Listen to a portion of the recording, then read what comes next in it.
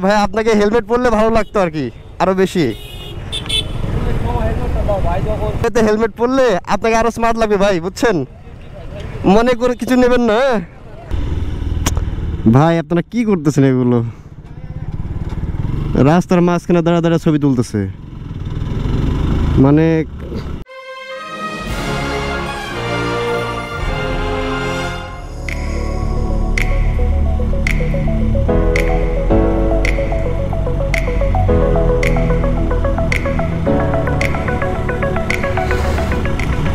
Hey, what's up, internet? It's time 8:30 a.m. and welcome to another film. আর আপনারা বুঝতেই পারতেছেন আজকে আমি কোথায় যাচ্ছি হ্যাঁ আমি আজকে আবার সে চিরচেনা সেই খুলনা শহরে ব্যাক করছি বরাবরই বাসা থেকে যখনই বের হই তখনই খারাপ লাগে এটা। মাঝে মাঝেই খারাপ লাগে কারণ যখন বাসায় আসি তখন একটা উচ্ছ্বসিত মনোভাব নিয়ে আসি বাট যখন বাসা থেকে বের হই তখন আবার সেই চিরচেরার মলিন মুখ। মাঝে মাঝে যেতে ইচ্ছে করে না বাট কিছু তো করার নেই, যেতেই হবে।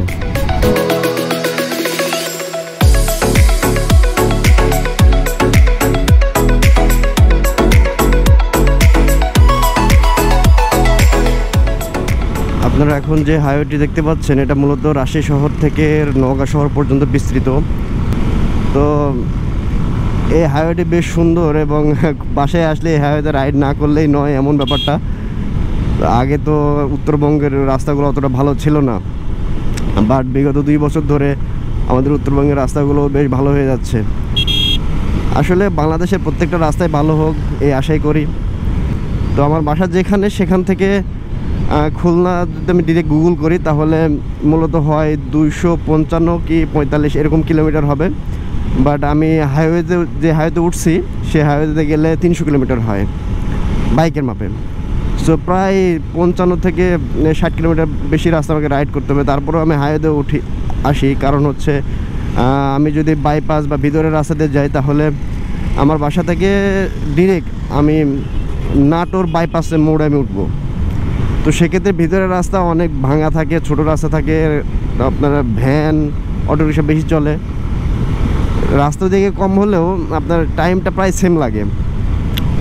বরঞ্চ আমি যদি হাইওয়েতে যাই পঞ্চাশ কিলোমিটার বেশি রাস্তা রাইড করি তারপরে আমার কিছু কিছু সময়ে টাইমটা কম লাগে। দ্যাটস ওয়াই আমি এই হাইওয়েটা প্রিফার করি। এখান থেকে আমচত্বর যাব, আমচত্বর দিয়ে ডিরেক্ট বাইপাস দিয়ে সোজা ঢাকা রাজশাহী হাইওয়েতে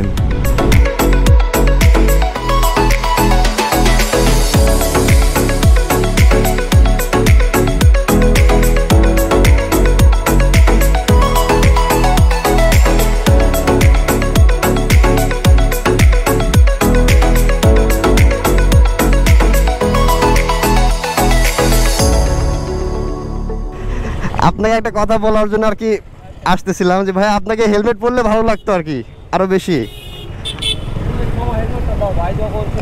বুঝছেন? হাইওয়েতে হেলমেট পরলে আপনাকে আরও স্মার্ট লাগবে, ভাই, বুঝছেন? মনে করে কিছু নেবেন না হ্যাঁ? ঠিক আছে, ভাই, ভালো থাকবেন। আমরা আসলে এরকমই ভুল করে থাকি।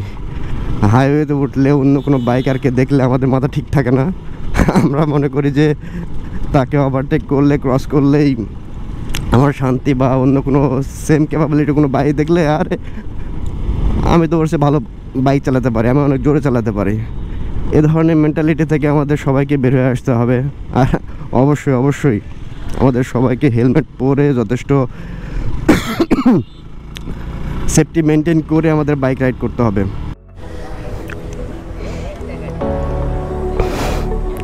আল্লাহ হাফেজ ভাইয়া। আল্লাহ হাফেজ।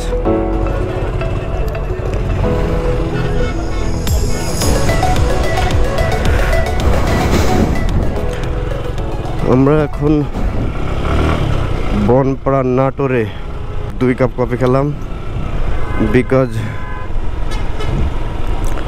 অনেক ঘুম আসতেছিল। যার কারণে বাইক রাইড করতে অনেক সমস্যাও হচ্ছিল। একবার তো ঘুমায় পড়ছিলাম রাস্তার মধ্যে। আল্লাহর রহমতে বেঁচে গেছি। সো আপনারা কেউ ঘুম ঘুম চোখে গাড়ি চালাবেন না। বাইক না শুধু যে কোনো গাড়ি। ঘুম চোখে বাইক চালানো খুবই ডিস্টার্ব এবং অনেক বড় রোড অ্যাক্সিডেন্টের কারণ। সো আপনারা সবাই চেষ্টা করবেন ঘুম চোখে বাইক চালানো বা অন্যান্য গাড়ি যারা রাইড করেন, তারা সবাই যেন ঘুম চোখে যেন আমরা যে কোনো যানবাহন রাইড না করি, সেদিকে আমাদের প্রখর দৃষ্টি আরোপ করতে হবে। আমরা এখন কুষ্টিয়ার দিকে রওনা হচ্ছি। সামনে আমাদের পড়বে ঈশ্বরদী। তারপর ঈশ্বরদীর পরে লালন শাহ সেতু, তারপর কুষ্টিয়ার। যে গোল চত্বরটা পার হলাম, সেই গোল চত্বরের বাম দিয়ে সোজা চলে গেলে ওইদিকে ঢাকা শহর, ঢাকা, সিরাজগঞ্জ, ময়মনসিং, এদিকে আর কি, বঙ্গবন্ধু সেতু। আর এই তো দেখতে পাচ্ছেন, এখন আমরা যাচ্ছি। সামনে পড়বে রূপপুর পারমাণবিক বিদ্যুৎ কেন্দ্র, তারপর লালন সেতু তারপর কুষ্টিয়া ঝিনাইদা যশোর এবং the last final destination Khulna. তো বাকি রাস্তাটুকু, বাকি জার্নিতে আপনারা সবাই সাথেই থাকুন।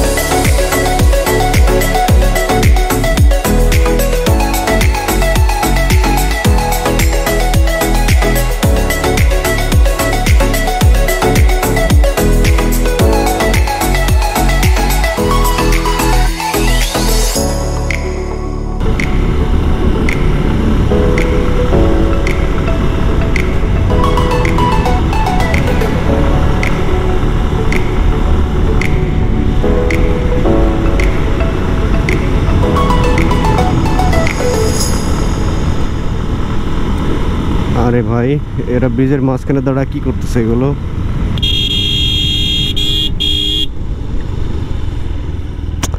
ভাই, আপনারা কি করতেছেন এগুলো? রাস্তার মাঝখানে দাঁড়া দাঁড়া ছবি তুলতেছে। মানে খায় কোনো কাজ নেই। ব্রিজে কি এমনি এমনিতে বাইক বা অন্যান্য জিনিস ব্যান করে দিচ্ছে, এইসব উদ্ভট কিছু প্রাণীদের জন্যই আজকে আমরা পদ্মা ব্রিজে উঠতে পারতেছি না। মিজাজটাই খারাপ করে দেয় এগুলো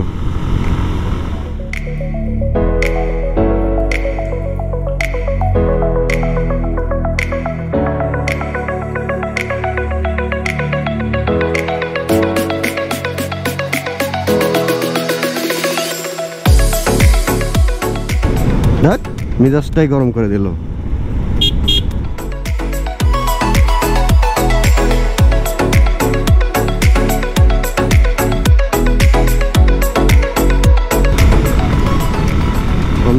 এখন কুষ্টিয়ার মধ্যে ঢুকে পড়েছি কুষ্টিয়া হ্যাঁ এটা কুষ্টিয়ার মধ্যে ঢুকে পড়েছি আমরা। পিছনে আমরা পিছনে আমরা পাবনা ঈশ্বরদী যেটা বলে, সেটা ছেড়েছে দেখেন ভাই, হেলমেট না পরে পিছনে একটা লেডি নিয়ে হ্যাঁ সামনে যাত্রা শুরু করে দিয়েছে। আবার পিছনে পিছনে আবার তাকাচ্ছে। ওই মেয়েটা আবার পিছনে তাকাচ্ছে যে আমি তাকে ক্রস করে যাই কিনা। কি একটা অবস্থা। ভাই হেলমেট পরেন। যাই হোক হয়তো শুনতে পাই নাই। শুনতে পাওয়ার কথা না। ভাই গাড়ি নতুন নাকি আপনার?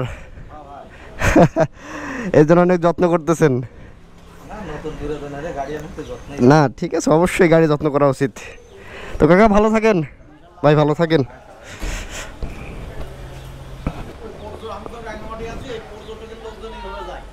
হ্যাঁ হ্যাঁ হ্যাঁ এভাবেই যায় সবাই। রাজশাহী থেকে যখন যাত্রা শুরু করেছিলাম, এই পর্যন্ত আমরা প্রায় দুশো কিলোমিটার রান করেছি। তো আর একশো নয় কিলোমিটারের মতো দেখলাম। যদিও এখান থেকে রাজশাহী শহর একশো তেষট্টি কিলোমিটার মতো বাট শহর থেকে তো আমার বাসা আবার চল্লিশ কিলোমিটার মতো দূরে আছে। সো টোটাল আমার দুশো কিলোমিটার মতো রান হয়ে গেছে, আর একশো কিলোমিটার রান করতে হবে।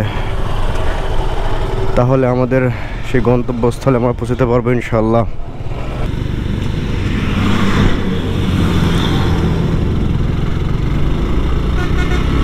হাইওয়েতে উঠেছে আর চাপ খাব না, তা কি হয়? এটা অসম্ভব।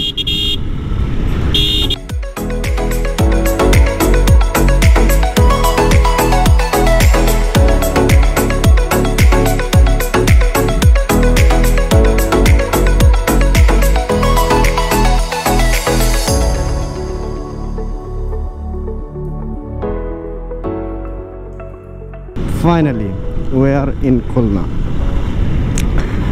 অবশেষে আমরা খুলনা চলে আসছি। খুলনা শহরের ভিতর ঢুকতে পারতাম, ওই পাশ দিয়ে বাম পাশ দিয়ে বাট বাইপাস দিয়ে ঢুকলাম। কারণ হচ্ছে শহরের ভিতর দিয়ে গেলে আরও টাইম লাগবে, তার মধ্যে আবার অনেক গাড়ি, রিক্সা অটো রিক্সা শেষ নেই। আর আমার যেহেতু শহর পাস করে চলে যেতে হবে গল্লামারি এই জন্য আর বাইপাস দিয়ে ঢুকলাম। ধন্যবাদ। পুরো ফিল্ম জুড়ে আমার সঙ্গে থাকার জন্য এবং আমাকে সময় দেওয়ার জন্য আপনাদেরকে নতুন নতুন ভিডিও যেন আমি উপহার দিতে পারি, সেই জন্য আমাকে ইন্সপায়ার করবেন। বড় বড় মতোই বলি, আমাকে অবশ্যই, যেহেতু আমি নতুন, সেহেতু অবশ্যই আমাকে আমার ভিডিওগুলো দেখবেন এবং দেখে কোথায় কী প্রবলেম হচ্ছে সে এটা নিয়ে একটু গঠনমূলক আলোচনা করবেন। এবং লাইক করুন কমেন্টস করুন, এবং অ্যান্টিমনিটার সাথেই থাকুন। সো নতুন কোনো একটা ভিডিওতে, নতুন কোনো একটা ফিল্মে আবার দেখা হবে আপনাদের সাথে। সেই কামনায় সুস্থ থাকুন, ভালো থাকুন এবং অবশ্যই অবশ্যই যখনই আপনারা বাইক রাইড করবেন, তখনই অবশ্যই একটা ভালো মানের হেলমেট পরিধান করুন। আল্লাহ হাফেজ।